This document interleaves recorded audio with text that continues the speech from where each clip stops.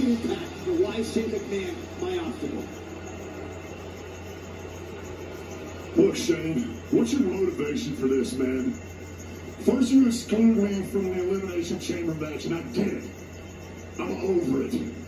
But then you give me a Raw Tag Team Championship match, and out of anybody you choose, you pick Adam Pearce? For what? Then you jump up on the apron and you make me tag him in so he can get beat. Shane, is this some kind of joke you? Are you getting a laugh out of this, some ha-ha? Because you know, there's an old expression. You're either laughing with me or you're laughing at me. And after that snide remark you made last week about some textbook being over my reading level, I'm really beginning to think you're laughing at me.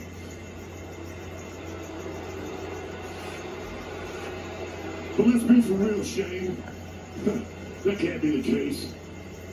Because you and I both know that if I wanted to, I could snap your neck like a twig. But saying that, I also know that you could come out here and fire me on the spot. And that's not what I'm trying to have done. I'm not looking to get fired, Shane. I'm looking for some respect. And the longer I stand out here asking you to come out here right now. I demand